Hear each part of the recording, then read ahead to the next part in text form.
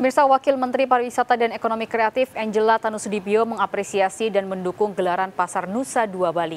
Pasar Nusa Dua Bali digelar sebagai ajang untuk menunjukkan citra positif kebangkitan dan kemajuan teknologi, ekonomi, serta budaya Indonesia yang dikemas dalam beragam produk UMKM. Di sela-sela kunjungan kerjanya di Bali, Wakil Menteri Pariwisata dan Ekonomi Kreatif Angela Tanusudibyo yang juga Wakil Ketua Umum Partai Perindo bidang ekonomi digital dan kreatif menyempatkan melihat langsung beragam produk UMKM yang dipamerkan pada gelaran Pasar Nusa Dua.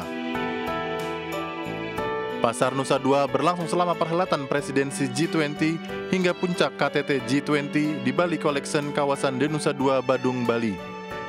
Guna menunjukkan citra positif kebangkitan dan kemajuan teknologi, ekonomi, serta budaya Indonesia yang dikemas dalam beragam produk UMKM.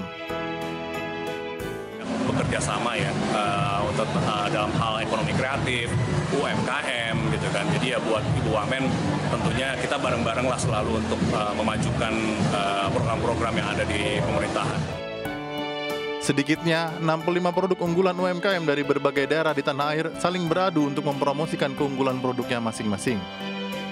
Upaya saling mendukung antara kementerian terkait dengan pemerintah daerah, sektor swasta, asosiasi, komunitas, dan masyarakat diharapkan menjadi kunci keberhasilan penanganan pandemi dan pemulihan ekonomi di Indonesia secara keseluruhan.